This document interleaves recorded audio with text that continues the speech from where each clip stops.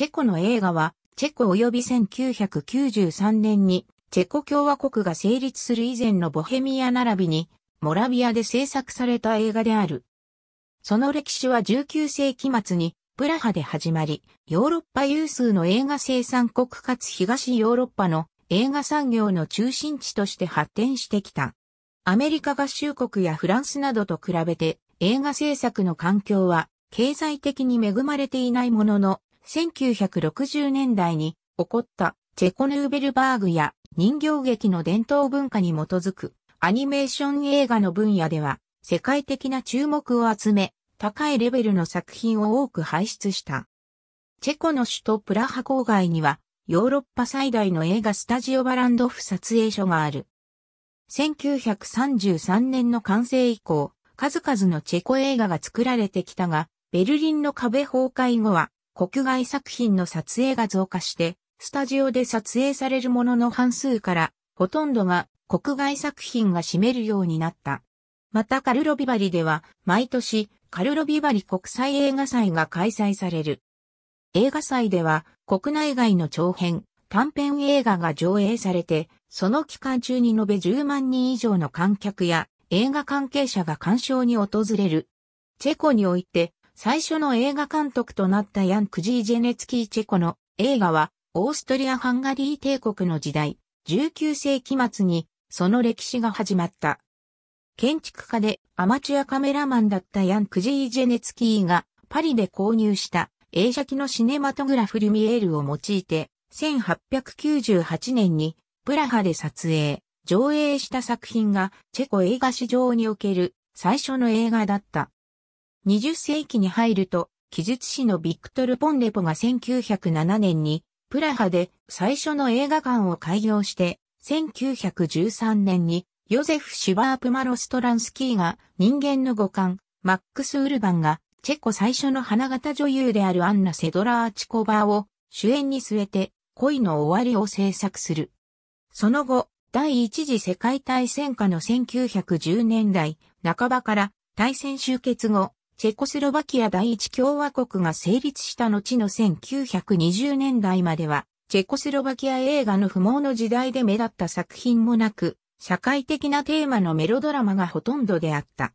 1930年代に入り、トーキーの広がりとともに映画産業が徐々に活気づいてゆく。後のチェコ共和国初代大統領、バーツラフ・ハベルの叔父であるミロシュ・ハベルによって、ヨーロッパ最大の映画スタジオとなる、バランドフ撮影所が1933年に完成する。映画は、女優ヘディ・キースラーの全裸シーンが話題を呼んだグスタフ、マハティの春の調べが、国内のみならず、国外にも広く輸出されて、各地で大ヒットを収め、チェコスロバキア映画を一躍世界に知らしめた。また、このマハティの成功により、スバトプルク・インネマンの修学旅行やヨゼフ・ロベンスキーの流れが国外にも紹介された。フランスの映画批評家ジョルジュ・サドゥールは、第二次世界大戦以前のこれらのチェコスロバキア映画の特徴を撮影の美しさ、トーンの正確さ、大胆さを排除しない真摯な態度、自然と民間伝承的な農民があるいは都会の庶民生活へのリアルな感覚であると考察した。一方で、1930年代は新しい芸術形式としてアバンギャルド映画が発展を遂げた時代でもあり、映画と他の芸術を組み合わせた実験的な映画制作や映画批評が盛んに行われた。特にアバンギャルド映画、目的のない散歩やプラハ城を制作したアレクサンデル・ハッケンシュミットは、後にアメリカ合衆国へ亡命して、前衛映画作家のマイア・デレントで会い、1940年代後半のアメリカ合衆国のアンダーグラウンド映画にも大きな影響を及ぼした。1946年に開校したプラハ芸術アカデミー映画テレビ学校1939年以降、第二次世界大戦中のナチスドイツ保護領下のチェコスロバキアの映画には見るものがなく、バランドフ撮影所ではナチスドイツのプロパガンダ映画が作られていた。大戦終結後は1945年に映画産業が国営化されて、1946年に国立映画学校であるプラハ芸術アカデミー映画テレビ学校が開校した。またこの頃の国内映画館数の増加は、際立って大きく、1945年から1946年には1600巻だったものが、1950年には3000巻にまで倍増した。映画は2つの国際映画祭で最高賞を受賞する。一つは、1946年にフランチシェクチャープの翼のない男たちが受賞したカンヌ国際映画祭の最高賞。もう一つは20世紀初めの労働者闘争を描いたカレル・シュテクリーのシレーナが受賞したベネツィア国際映画祭の最高賞である。1950年代前半は社会主義体制の確立によって映画制作の自由は制限され、ヤンカダールとエルマール・クロスの誘拐のような社会主義リアリズムを求められたプロパガンダ映画が主流で停滞期にあった。しかし1950年代後半は、スターリン批判により推し進められた政治体制の緩和、いわば雪解けがあって、以降、共産党を批判したボイチェフ・ヤスニーの9月の夜やフランチシェク・ブラーチルの長編映画デビュー作品、白い鳩がチェコヌーベルバーグの先駆となり、若手映画監督たちが台頭し始める。また、アニメーション映画の分野においては、この時すでにチェコスロバキアは世界トップクラスの地位にあり、イジーとルンカ・ヤカレル・ゼマンといった映画監督らが国際的に高い評価を得ていた。やがてトルンカは真夏の夜の夢などの作品で人形アニメーションを確立し、トルンカの流れを引き継いだゼマンは前世紀探検や悪魔の発明などで人形と人間が共演するファンタジー映画へと発展させていった。ミロス・フォアマンはチェコ事件後にアメリカ合衆国へ移住して、より大きな成功を収めた1960年代は、ミロス・フォアマン、ヤン・ニエメツ、ベラ・ヒティロバやイジー・メンツェルなど国立映画学校出身の若手映画監督が一戦に出てきて、チェコスロバキアの映画は目覚ましい飛躍を遂げた。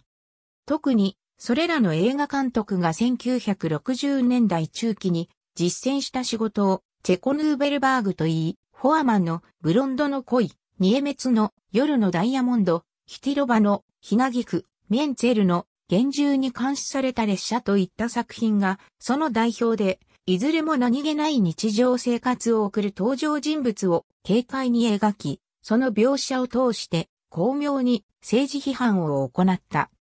この時のチェコスロバキア映画に対する国際的な評価は高く、例えば1965年から1968年のアメリカ合衆国のアカデミー外国語映画賞では4年連続でチェコスロバキア映画が受賞ないしノミネートを受けるなど様々な国際映画祭や各国の映画賞で受賞を果たした。しかし、1968年にチェコ事件が起きるとそれら映画監督は沈黙を強いられて、チェコヌーベルバーグは終焉を迎え、フォアマン、カダール、イヴァン・パッセルらが国外に去った。1970年代には年間50本から70本の映画が制作されて一時落ち込んでいた制作状況も徐々に回復し始めた。ただ、国内に残ったヤロミル・イレシュが闇のバイブル聖少女の詩、ミエンツェルが繋がれたひばり、ヒティロバがリンゴゲームなどを制作するも、質と両ともにチェコヌーベルバーグには及ばなかった。1980年代に入ると、国外に亡命や移住をした映画監督が母国で映画を撮るようになっていった。第57回アカデミー賞の作品賞や監督賞など数々の映画賞を受賞したフォアマンのアマデウスもその一つでプラハ市街やバランドフ撮影所で撮影を行った。その他、この時期の映画にはズデニエクトロシカの太陽と藁とイチゴやヤンシュバンクマイエルのアニメーション映画、アリスなどがある。1989年、民主化を求めたビロード革命が起こり、1993年にチェコ共和国が誕生した。経済制度が市場経済へと移行したことによって映画制作の本数の低下や娯楽の多様化が起こり、新たなチェコ映画の再生の模索が始まった。特に若い世代の映画監督たちは状況にうまく順応して芸術的な映画を撮っており、この世代の代表としては、ヤン・スベラークのコーリアイのプラハがアカデミー外国語映画賞を受賞したほか、ヤン・フジェベークのこの素晴らしき世界、ボフダンスラーマの幸福などが国際的に高く評価されている。ありがとうございます。